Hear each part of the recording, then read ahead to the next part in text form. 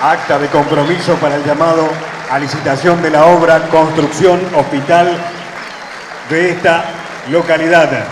Suscriben este acta el señor Ministro de Planificación, Inversión, Obras y Servicios Públicos, contador Daniel Marcos Malich, junto al señor Intendente de Misión Tacaglé, don Víctor Hugo Leguizamón.